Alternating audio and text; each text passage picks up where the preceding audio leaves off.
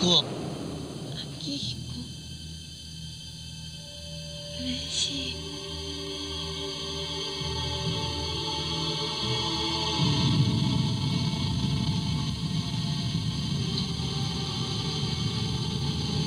さよなら。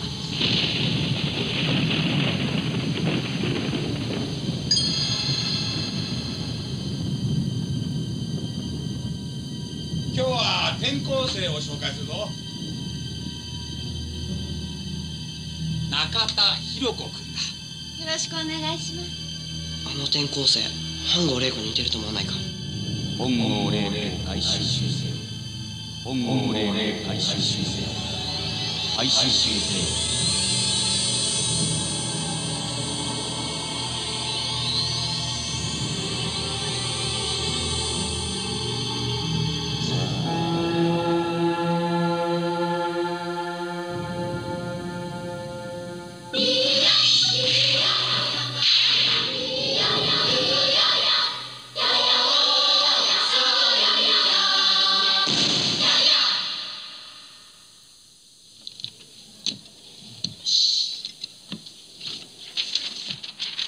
上出来上出来。カウンセリングってどんなんやねやろな。その素朴な疑問に答えるためにインタビューすんだって。はい。なんか鈴木嬉しそうだな。だってカウンセリングってなんか面白そうじ面白そうじゃんってお前。カウンセリングやぞ。深刻真剣マジやぞ。ゃんまあ悩んだことない鈴木には。無関係ってこと。ゃん違うよ。カウンセラーに興味あんだって。俺人の話聞くの好きだし向いてる気がすんだよなアンドロイドなんてすごい話ですね。嘘みたいな話ですけど本当の話なんです。笑ったりしてごめんなさい。でも嘘だなんて思ってません。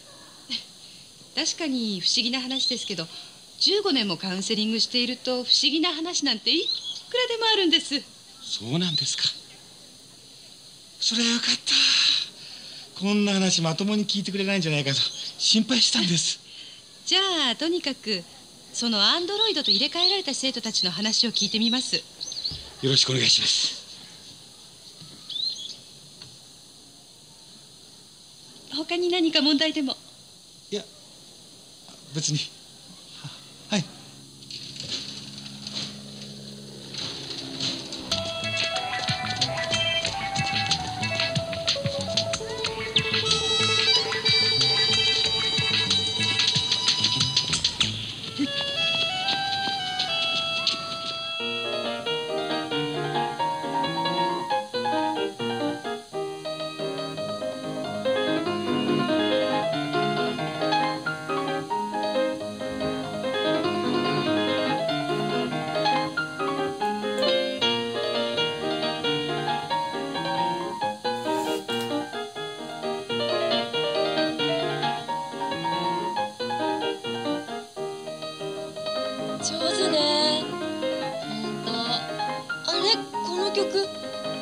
発表会でメキが弾いた曲じゃない。うん。華麗なる大演舞曲。こんな難しい曲みゆき以外にも弾ける子いるんだ。は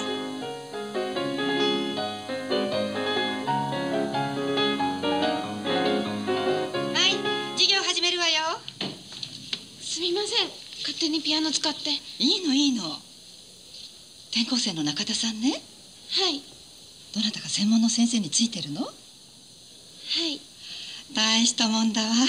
驚いちゃった。いえ。なあ中田って変だと思わないか？何が？だって出来すぎだよ。ほんと参るよな。それに本郷玲子に似てると思わないか？似てるといえば似てるけど。渡辺？お前山本先生にカウンセリングしてもらったら？嫌だよだってこの間のことかなり引きずってるやんけ。元生徒会長の島田さんとか五十嵐さんもカウンセリングしてもらったみたいやからな。へえ。じゃあ俺もやってみるかな。ああ本郷玲子もそっくりさんね。もしかしたら本郷玲子は死んだんじゃなくてまたネットに操られてやってきたんじゃないかってそんな気がするんだよ。そんなに似てんの？うんでも鈴木や井原はちょっと似てる程度だって言うんだよ。ちょっと似てる程度だったら俺も時々言われるぞ。トム・クルーズにちょっと似てるって。まああんなことがあったんだから仕方ないだろうけどあまり深く考えない方がいいな。あなたは少し考えなさい。でもさゴッホが人間の本能や霊感衝動や意識は人々が想像するよりもはるかに確かな案内者だなんつってるからな。ゴッホって誰？偉大な絵描きだよ。うん。じゃあ僕の勘は当たってるってこと？いやそれは俺には分かんないけどさもしお前が何か気になんだったら少し様子を見た方がいいんじゃないか？もしなんか変だったらすぐ言うのよ。中田さんぜひブラスバンド部に入ってください。ダメダメ。中田さん絶対陸上部よ。何を言うとんねん。英会話に決まっとるやんけ。お前部長で英語で言えや。なんで俺が言わなあかんねん。中田さんやっぱ新聞部ですよ。中田さん前の学校でなんかクラブに入ってたんですか？ピアノのレッスンが大変で何もしてなかったんで。すそれじゃあ興味のあるクラブを順番に一日体験してみた。らあそれ賛成。じゃあブラスバンド部。あらはじじゃあまず弓道部ね。おいおい抜け駆けはダメだよから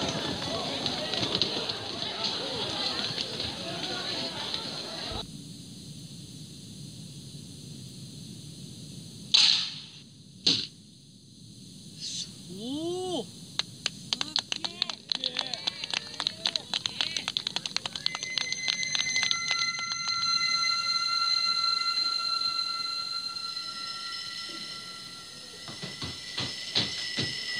中田さん。ちょっと話があるんだけどどうしたの？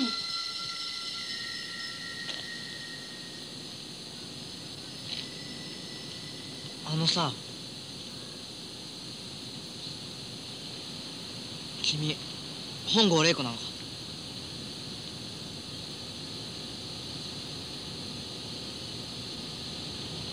私は中田博子ですけど人間？人間ですよ。私猫に見えますか？いやそういうことじゃなくて。本郷玲子って誰ですか？渡辺君もういいじゃない。中田さんは本郷玲子とは関係ないわ。気にしないで。ちょっといろいろあって。そう。明彦さん明彦さん。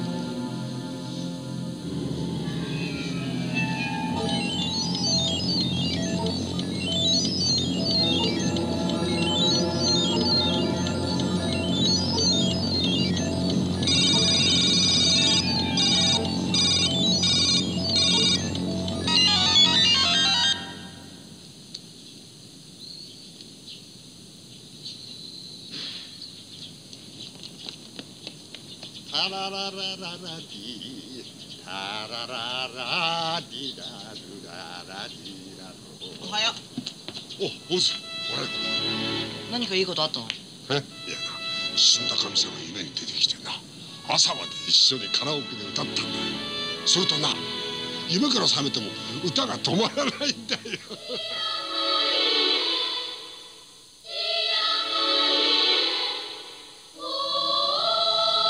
何ぼーっとしてるあいや何でもない。行ってきます。おはよう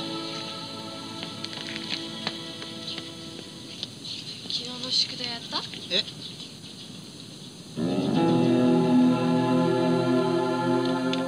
失礼します。はい。例の生徒たち誰か来ました？どうぞえー、黒田君に島田君五十嵐さんそれから鈴木君が来ました。そうですか。やっぱりみんな誰かに聞いてほしかったんですね。かなりショックだったんでしょうか。うーんまあ個人差がありますから。今かなり動揺している子もいるしそれほど気にしていない子もいます。ただ将来何かきっかけがあるとその時に問題が出てくることもありますからあの事件に関わった生徒は一応全員やっておきたいですね。うちのクラスに鈴木以外に2人ほど同じ体験をした生徒がいまして実はその1人が一番動揺してるんじゃないかってちょっと気になるんです。じゃあ荒木先生から軽く誘ってみてくださる？わかりました。俺もカウンセリング受けてみるかなでも好きになった女性がアンドロイドだったなんて言えないよな。先生何？私練習があるんですけど。ああすまんすまん。すぐ終わるから。あのさお前ら山本先生のカウンセリング受けてみないか。私別に悩みなんかないです。いや悩みっていうかこの間のアンドロイド事件がやっぱショックだったんじゃないかと思ってさショックだったのは先生じゃないんですか？あそれはいいな。思い出すと腹が痛くなるから。でお前らは何ともないのか？渡辺君は結構引きずってるよね。別にそんなんじゃないよ。ああお前さ本郷玲子が死んだこと結構ショックだったんじゃないのか？死んだって言っても玲子はアンドロイドだし。アンドロイドだろうが人間だろうが関係ないよお前にとってなんか大切な存在だったんだろ？分かんないよ。分かんなくていいと思うよ。けどとにかく人でも何でも死ぬってことは本人にも周囲の人間にとってもとってもとっても大きいことなんだよ。でももう済んだことだし。そうなのか？私にはそう見えないけど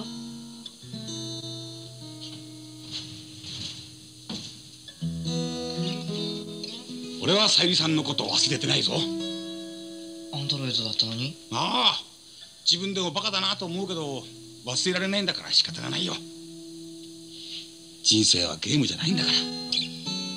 リセットボタンないしよ。忘れようとしても忘れられないんだったらそれは忘れちゃいけないことなんだよ